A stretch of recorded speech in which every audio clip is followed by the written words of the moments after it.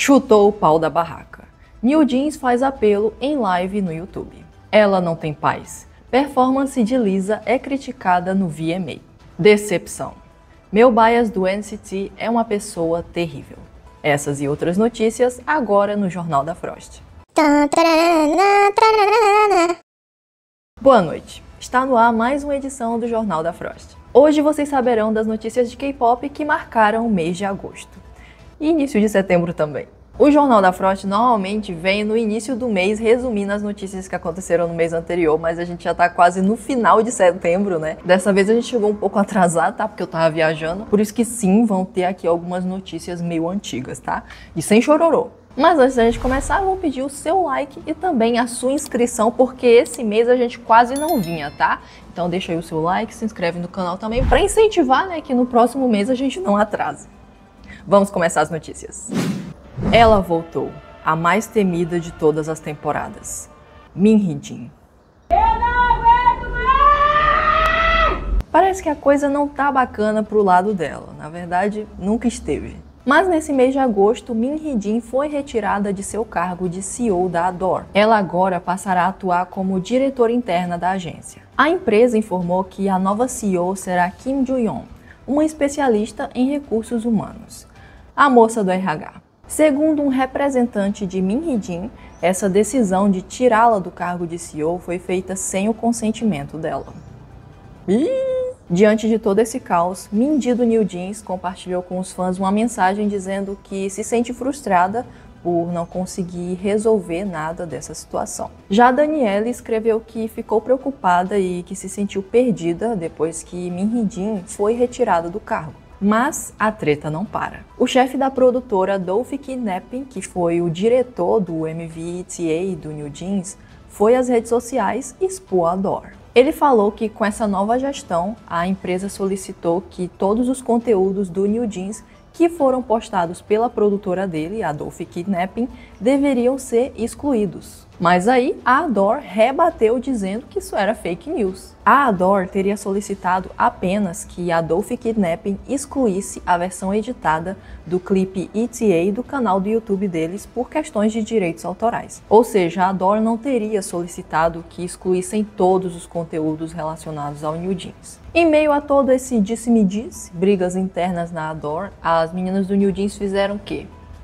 Live. NPC. Mentira.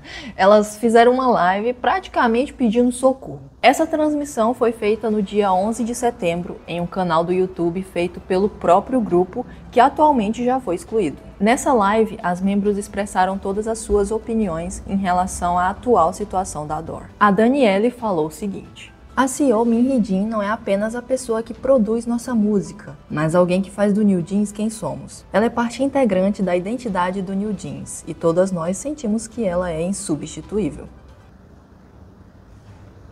Alguém duvidou que elas tinham ligado a live para puxar o saco da Min Hee-jin? Jahane expôs uma situação em que membros de outro grupo passaram por ela nos corredores da Hybe e o gerente que estava com esse grupo pediu para ignorarem a Honey. Assim, na frente dela, entendeu? A Honey falou sobre isso com a nova CEO da Adore, mas ela simplesmente disse: Você não tem provas?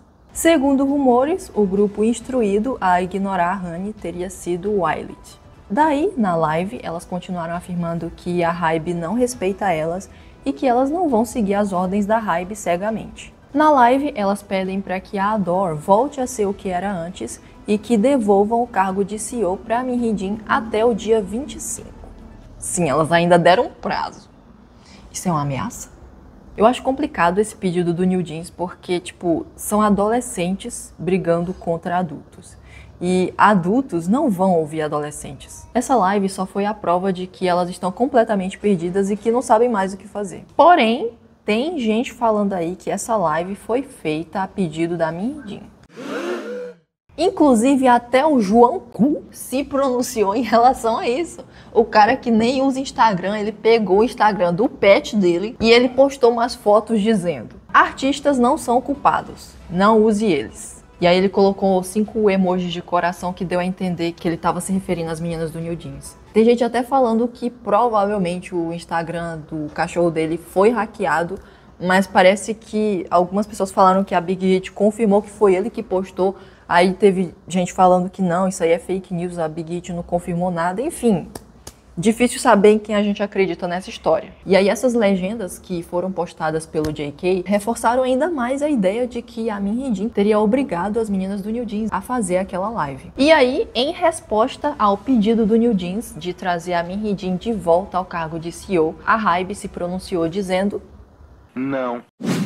Aproveitando que falamos do JK, recentemente foi anunciado o lançamento de um documentário do do BTS nos cinemas do mundo inteiro, inclusive aqui no Brasil. O filme contará a trajetória de Jungkook como solista, mostrando os bastidores da produção de Golden, o primeiro álbum solo do artista. Intitulado Jungkook I Am Still, o documentário estreará nos cinemas no dia 21 de setembro. E ó, eu já comprei meu ingresso, tá? Pra não acontecer o que aconteceu lá com o cinema do Blackpink, que eu perdi a data. E aí eu quero, no mínimo, brinde personalizado sendo distribuído na porta do cinema. Eu quero também balde de pipoca com a cara do JK. Quero refrigerante com o rótulo do JK. Ah, mas Frost, você não toma refrigerante. Eu não ligo. Eu quero como personalizado. Trágico. Ryuna revela fotos pré-casamento. A cantora, que não hesita em afundar cada vez mais a sua carreira, compartilhou recentemente fotos com o futuro esposo, que, para quem não conhece, é um cara canceladíssimo. Nas imagens percebe-se o esforço de se fazer algo diferentão e conceitual, mas eu só consegui sentir vergonha alheia. A agência de Ryuna informou que, principalmente após a divulgação dessas fotos, a difamação contra a cantora se tornou insuportável e que tomará medidas legais em relação a isso. Então, se você não tem advogado, você não fale mal das fotos dela. A cerimônia de casamento será realizada no dia 11 de outubro e só se fala em outra coisa. Agora faremos uma rápida pausa para os comerciais. Assiste o anúncio. E quando eu falo assiste o anúncio, é para você assistir mesmo. Lisa e Lee Serafin são criticadas no VMA. O evento, que aconteceu no dia 11 de setembro em Nova York, premiou diversos artistas, incluindo de K-pop.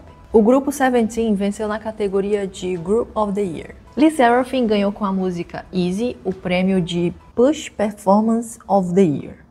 O que isso quer dizer, eu não sei. Além disso, elas também se apresentaram no pré-show do evento.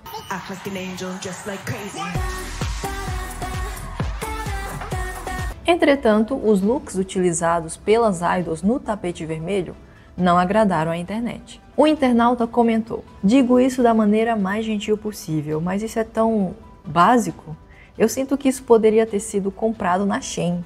Meninas, vocês são as princesas da Hybe. Queria que o estilista vestisse vocês melhor. É, eu realmente achei os looks meio confusos pro tapete vermelho. Poderiam ter sido melhor. Já Lisa, além de se apresentar no palco do VMA, também levou para casa o prêmio de Best K-pop pela música Rockstar. Mas nem tudo são flores. A artista foi duramente criticada por supostamente usar playback durante sua apresentação.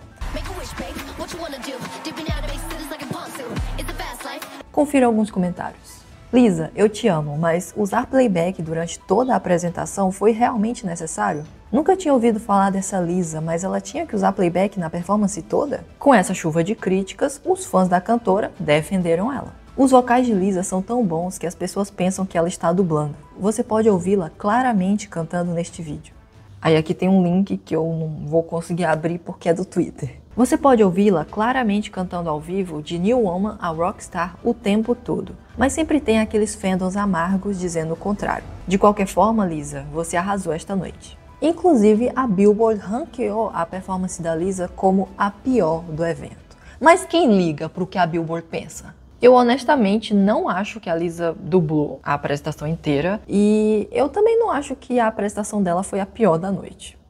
Eu vi as outras apresentações, não vi e nem vou ver. Polêmica. SM Entertainment revela o seu novo grupo britânico e internet cai em cima. O boy group será gerenciado não só pela SM, mas também pela subsidiária norte-americana da Kakao Entertainment e a empresa de entretenimento britânica Moon. O grupo chamado Dear Alice é composto por cinco integrantes e recebeu treinamento da SM Entertainment durante 100 dias. Eles planejam realizar atividades no mercado musical global. E aí eu tava vendo aí que o pessoal tava comentando que eles nunca poderiam se considerar um grupo de K-pop, porque todos os integrantes são da Inglaterra. Mas assim, gente, de fato, eles não se consideram um grupo de K-pop, porque pelo que eu entendi, eles são um grupo global. A diferença é só que eles foram treinados por uma empresa de K-pop. Eu acho que esse hate que eles estão recebendo é totalmente desproporcional e tipo, cara, eles têm até um careca no grupo. Careca! E aí aqui eu não achei a data exata de debut deles, mas enfim, quebra tudo One Direction.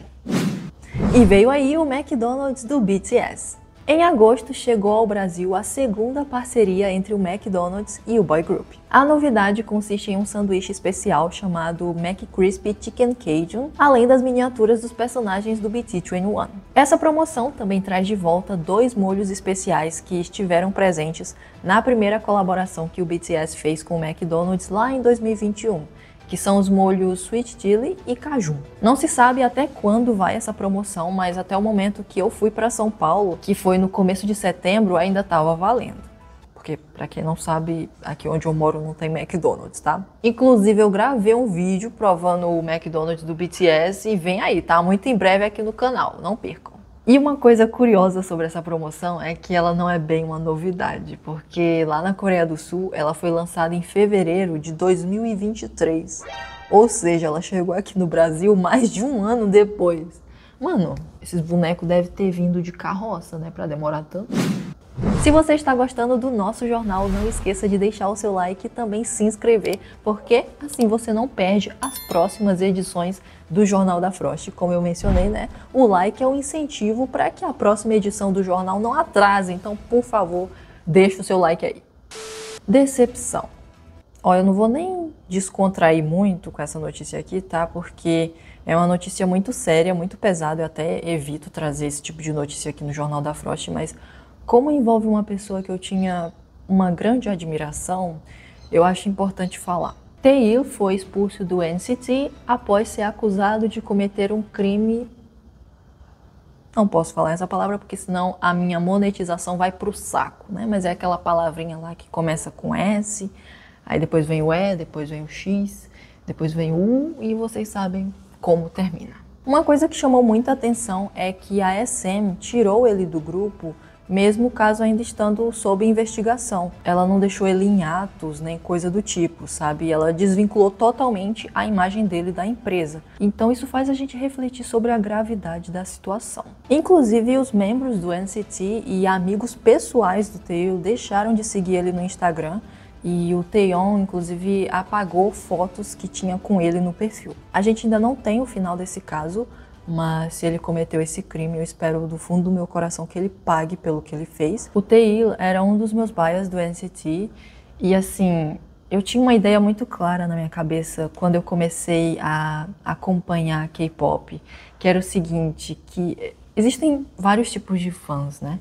E eu não queria ser aquele tipo de fã que vangloria o K-idol, sabe? Que vê os K-idols como anjos, pessoas perfeitas. Eu não queria ser esse tipo de fã. E de fato eu nunca fui, mas com o passar dos anos, essa ideia na minha cabeça foi meio que deixada de lado, foi se apagando. Ela nunca deixou de existir, mas ficava ali meio que de escanteio. E com esse caso do Tail, me fez lembrar dessa ideia. Poxa, você sabe, você sabe que a gente não deve ver os K-idols como pessoas perfeitas, porque uma hora eles podem decepcionar a gente, né? E a decepção é ainda maior quando se trata de uma pessoa que você considerava como bias. Então isso me fez lembrar que a gente nunca vai conhecer os nossos artistas favoritos 100%. É claro que às vezes os artistas podem decepcionar a gente, né? Falar coisas, cometer atitudes que a gente é contra, né?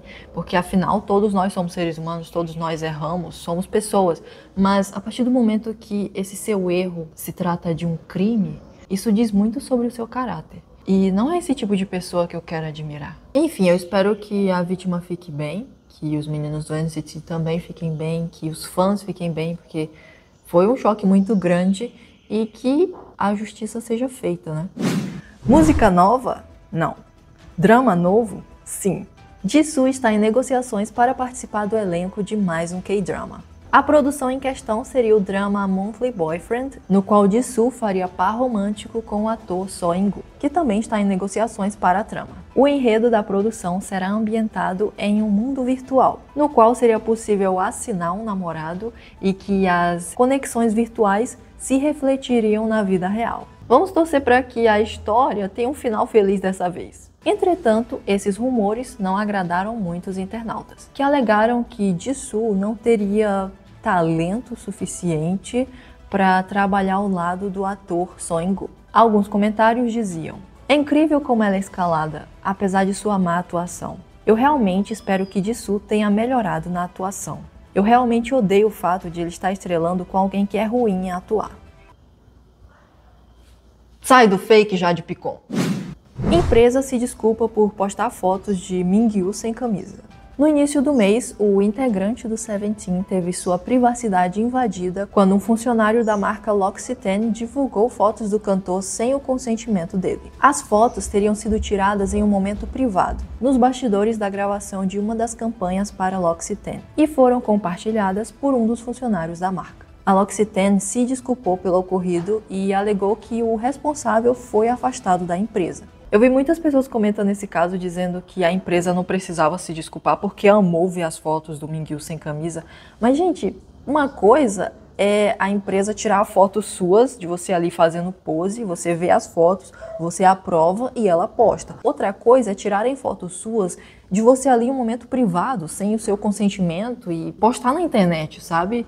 É, invadir a privacidade das pessoas não é legal, não é engraçado, então se você quer ser uma safada, pelo menos seja uma safada com bom senso. Já imaginou você ir em uma cafeteria e a atendente ser a Jonghyun do Twice? Em um dos episódios recentes do seu programa de variedades no YouTube, chamado The Inspector, a integrante do Twice revelou que trabalhou em uma cafeteria no seu período de hiatos. Como sabemos, a Jonghyun ficou afastada das atividades do Twice por um longo período para cuidar da sua saúde mental. Ela alegou que decidiu trabalhar em uma cafeteria durante esse tempo para ocupar a mente ao invés de ficar em casa. A cantora disse ainda que trabalhava das 6 às 16 horas. Mano, 10 horas de trabalho. Você vai trabalhar para distrair a mente e sair de lá burnoutado. Mas pelo que pareceu, a Jonghyun foi trabalhar na cafeteria porque ela quis, assim, para ocupar a cabeça dela e não porque supostamente o JYP teria deixado ela passando fome. Enfim, Jonghyun, mãe dos CLTs. Agora você vai assistir mais um anúncio para a gente conseguir pagar as contas. Suga do BTS cai de moto e se rala. No começo de agosto, o rapper se envolveu em uma polêmica por ter dirigido depois de ter tomado uns goró. O idol, inclusive, cai do veículo ao tentar estacioná-lo. No momento, policiais tentam ajudá-lo, mas ao perceberem que Suga estava com um cheirinho de breja, levam para a delegacia. Mano, é muito azar você cair do veículo bêbado e logo atrás de você tem três policiais. Ó, eu não vou nem entrar em muitos detalhes sobre essa notícia, porque o que teve de fake news circulando aí na internet sobre isso não foi brincadeira. Teve gente falando que ele atropelou um cachorro, uma senhora de 84 anos e três formigas. Mentira, não. Não, mas realmente teve gente pedindo para que ele fosse expulso do grupo, tinha gente pedindo para que ele fosse preso. Ele errou? Errou. Ele se desculpou? Se desculpou, mais de uma vez, inclusive. E ele vai pagar a multa lá que deram para ele. E Suga, na próxima, vê se você pega um Uber. NCT Dream no Brasil. No dia 2 de setembro, o grupo fez o seu segundo show em solo brasileiro. E eu também marquei presença. Inclusive, eu tô com depressão pós-show até agora. Alguns momentos engraçados no show foi quando eles começaram a trocar de roupa ali no palco mesmo. Quando estavam gritando Jen, o gostoso, ele não estava entendendo nada e a moça teve que traduzir.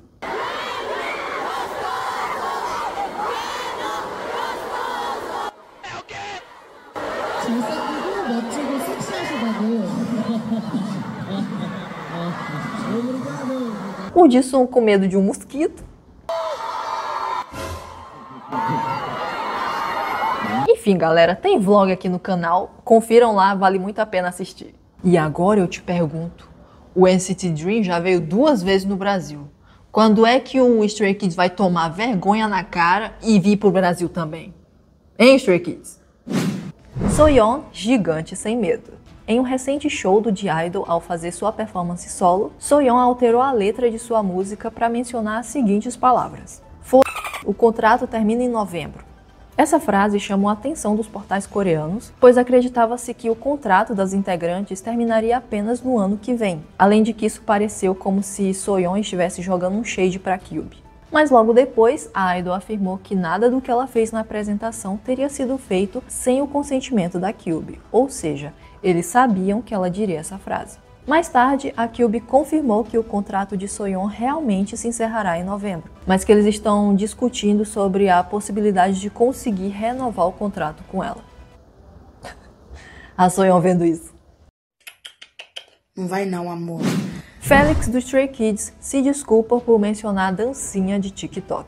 No dia 15 de agosto, o integrante do Stray Kids mencionou na plataforma Bubble que pretendia fazer um challenge de uma música de anime japonês. Depois disso, o idol foi massacrado nas redes sociais, pois ele tinha mencionado uma música japonesa no Dia da Libertação Nacional da Coreia, que comemora a libertação do país sob o domínio japonês. Algo semelhante também aconteceu com Yeonjun do Seventeen, do TXT, pois no mesmo dia ele postou fotos suas tiradas no Japão. Ambos os idols se desculparam pela atitude e teve muito fã brasileiro diminuindo a situação dizendo que eles se desculparam por besteira. Eu acho complicado julgar essa dor dos coreanos de mencionar coisas do Japão no dia da libertação da Coreia, porque você não é coreano, você não entende o que eles sentem. Aí o povo comenta assim: ah, então por que se quando eu menciono Portugal no dia 7 de setembro aqui no Brasil, ninguém liga? Simples. Porque não somos patriotas. E muitas vezes também porque não estudamos história. E eu me incluo nisso. Neste momento, vamos dar início ao nosso quadro de previsões com o Senhor Tubarão. É com você. Boa noite. Hoje irei contar para vocês as previsões de lançamentos no K-pop no mês de setembro, tanto as que já aconteceram quanto as que ainda estão por vir. E o mês já começou com o debut. No dia 6, a nossa máquina do Twice lançou a música Runaway. Chewie, sendo a terceira integrante do girl group a debutar solo, fez sua estreia com um mini álbum chamado About You. Inclusive, confiram a análise que a Frost fez desse MV que tá muito boa. E eu não pedi para ele falar isso. Outro debut que tivemos no dia 6 foi do Miau, novo girl group da The Black Label composto por cinco integrantes. O MV chamado Miau mostra uma coreografia atraente que fez até mesmo o pé grande dançar com elas. Confiram também a análise que a Frost fez desse MV que tá muito boa. Já tá bom, né, de querer que eu fique divulgando suas coisas? Dia 6 foi recheado. A gente também teve o lançamento da música que o RM do BTS participou em colaboração com a Mega Stallion. O clipe se chama Never Play e mistura um pouco da realidade com desenhos gráficos. Ah, eu vi esse clipe. É aquele que a Megan fica o vídeo todo assim? É esse mesmo. Toque, toque. Quem é? A Polícia Federal. Na verdade, eu ia dizer o Boy Next Door. Ah. O grupo fez seu retorno no dia 9 com a música Nice Guy. E em seu MV, eles perdem tudo e vão trabalhar de CLT. Não tá fácil para ninguém. Chat GPT ficaria orgulhoso. Neves, personagem virtual do universo do ESPA, debutou no dia 10 com a música Dawn, com a voz criada por IA e conteúdo inteiro feito por inteligência artificial, o debut da personagem dividiu opiniões na internet. Quero ver quando ela se envolver em rumores de namoro. Ela vai ser o terror da dispatch. Eles não descansam. Rise lançará seu novo álbum chamado Rising Epilogue no dia 19. Enquanto isso, o grupo realizou diversos lançamentos durante o mês de setembro, como a estreia da música Combo e as novas versões das faixas Rising e Boom Boom Bass. Tá, mas e o Sunhan? A SM debutou uma boneca virtual e não vai tirar o Sunhan do porão? Papai tá on. Yeonjun do TXT anuncia seu debut solo. O single chamado Gun será lançado no dia 19 e as expectativas dos fãs estão altas para essa estreia. Enquanto isso, o Idol divulgou um trechinho da coreografia de sua música nas redes sociais. Confira.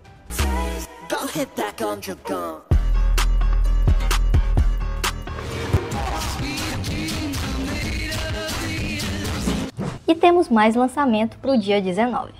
O Asa do Mamamoo irá voltar para nos agraciar com sua voz. A cantora lançará seu segundo mini-álbum chamado Ou, que contará com sete faixas, sendo Na a faixa título. Mas, aparentemente, a P-Nation está em situações precárias, pois a própria Idol teve que ir nas ruas de Paris divulgar seu comeback em um pedaço de jornal. Forças, guerreira! Meus filhos estão voltando. NCT Wish retornará no dia 24 com seu primeiro mini-álbum intitulado Steady. Anteriormente, no dia 9, as crianças haviam lançado a faixa Don't Shot, que inclusive é hit aqui em casa. E esses são os lançamentos do mês de setembro. Frost, o que tá fazendo? Vou dar banho de sal grosso no New Jeans pra ver se elas saem dessa furada. Mas isso é sal fino. É que eu não encontrei sal grosso. Quer vir comigo? Não. Então, boa noite.